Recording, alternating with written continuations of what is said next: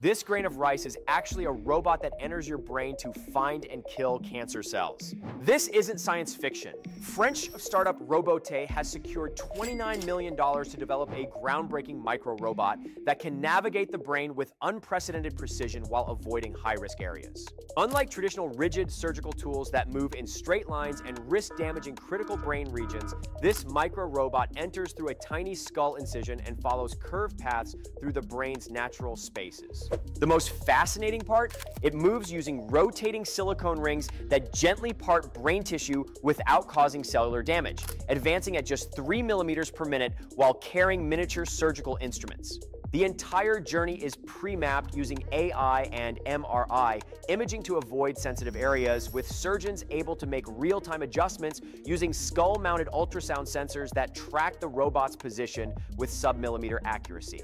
Initial testing on sheep has shown no major complications like bleeding, and the company is preparing for its first human clinical trials in 2026, where the robot will perform microbiopsies on brain tumors.